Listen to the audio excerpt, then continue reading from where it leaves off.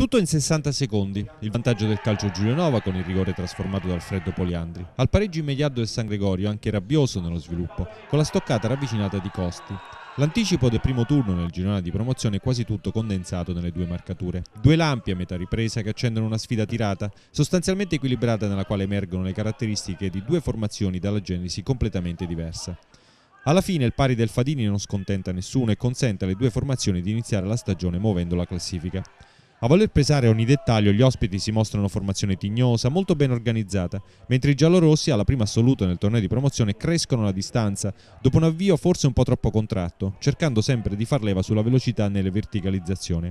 In fase offensiva, come detto, la gara si accende a sprazzi. Il San Gregorio ha subito la palla del vantaggio dopo appena 5 minuti. Ianni mette in moto Di Paolo, bravo nell'accelerazione e molto meno nella conclusione quasi a botta sicura che si perde alta. Gli spunti del numero 10 ospite creano qualche grattacapo alla squadra di Lalloni. Al 22esimo Ranalli chiude in angolo lo spunto del solito Di Paolo.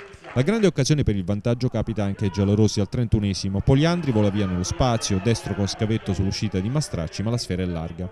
Nella ripresa i ritmi della gara salgono, il San Gregorio prova sempre a fare la partita, mentre i giuliesi cercano soluzioni in velocità, con Lalloni che progressivamente muta l'assetto offensivo della formazione, con l'innesto di La Liscia punta centrale. Al ventesimo la sfida potrebbe cambiare, Di Paolo in fase offensiva viene forse strattonato. L'assistente segnala un fuorigioco, il San Gregorio protesta, mentre i locali non perdono tempo, battono subito la punizione e prendono d'infilata gli avversari. La liscia in fuorigioco, lanciato in verticale, viene affrontato e steso dal portiere. Protestano gli aquilani, non certo per il rigore concesso, ma per lo sviluppo dell'azione.